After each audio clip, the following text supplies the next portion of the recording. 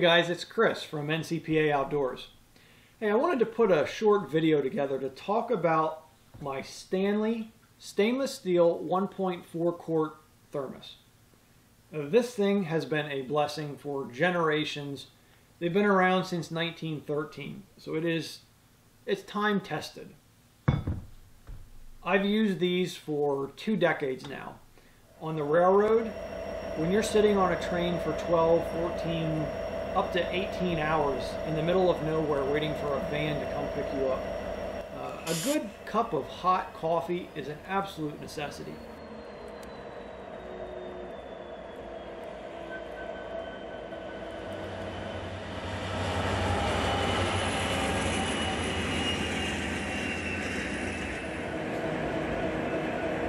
And the same holds true for hunting season.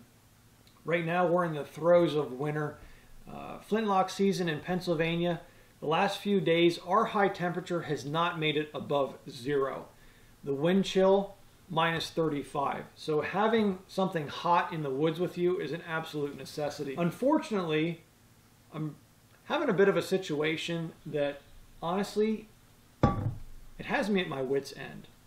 I've not been able to come up with a solution because I can't even pinpoint the problem. So my hopes today is that somebody out there in YouTube land uh, has the same situation and can either relate or can offer some suggestions or feedback uh, that I haven't already tried. All right, so let me give you a little backstory so I can kind of explain what's going on here. So two years ago, I was using the same thermos that I've used for years without fail. Uh, I got it out to the tree stand. That first cup of hot chocolate, 7, 8 o'clock, was fine. But by noon, everything was ice cold. So I got a hold of Stanley. No problems, no questions, no hassles. They sent me a brand new one. So I got that thermos in the mail, took it out that upcoming hunting season, and unfortunately, that was the beginning of my troubles. That thermos was manufactured, I believe it was either 2015 or 2016. And my very first cup of hot chocolate in the tree stand that year tasted fine. No problems. I thought I am good to go. Everything's fine now. But my second cup a few hours later, as soon as I poured it, something just did not seem right. And as soon as that hot chocolate touched my lips, it, was game over. It was absolutely putrid. Like you, it was unbearable. I could not even drink it. So I dumped it out. I thought, well, maybe it's a bad batch of hot chocolate. I don't know what's going on. So I get it back to camp, wash it out, rinse it out really good. The next morning, I go ahead and make another pot of hot chocolate, take it out to the tree stand, same thing. The first cup was fine. I thought, you know, I don't, what, I don't know what happened, but definitely had issues. And then again, the second cup a few hours later were the exact same results. It was undrinkable. So I called uh, Stanley and they suggested that I may have had some stuff at the bottom that you know wasn't getting cleaned out. I explained to them that they just sent it to me. It was a brand new thermos.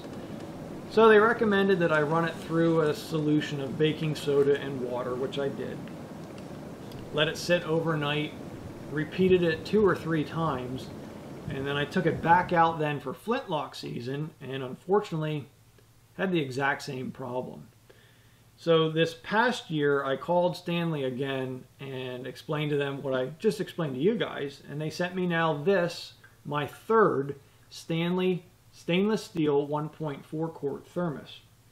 Now this one has a manufacturer date. If you look at the bottom of all of their thermoses has an alpha and a numeric stamp. Now the letter represents the month, the numbers represent the year of manufacture. So this one is stamped C, so January, February, March of 2017. I got this thing in the mail two weeks ago, and the very first thing that I did with it was put hot water into it.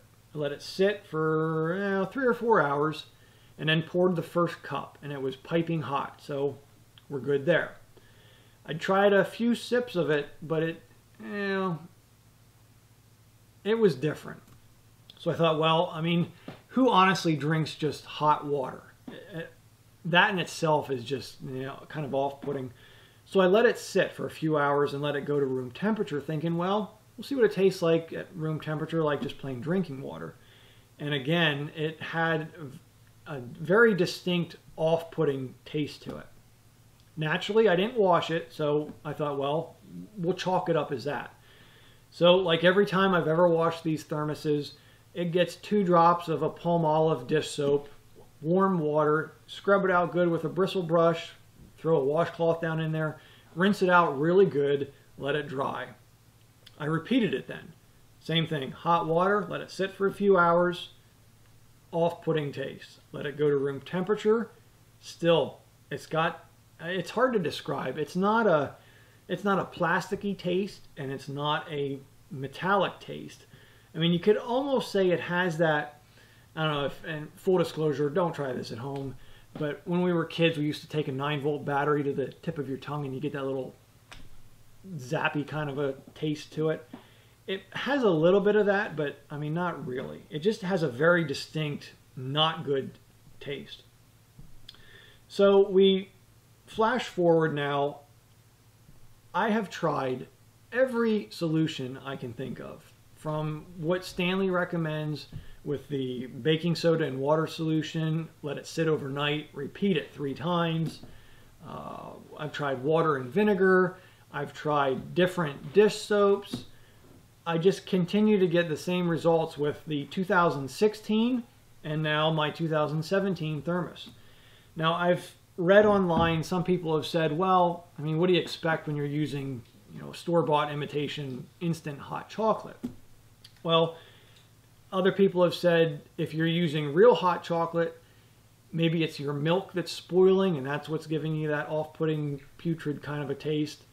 Uh, I'm just using Swiss Miss hot chocolate and store-bought either spring water or drinking water. It's not just my taste buds that have said that there's something wrong with the, the water in these. I've had Joel has tried it. Uh, wife at home has tried it. What do you think of it?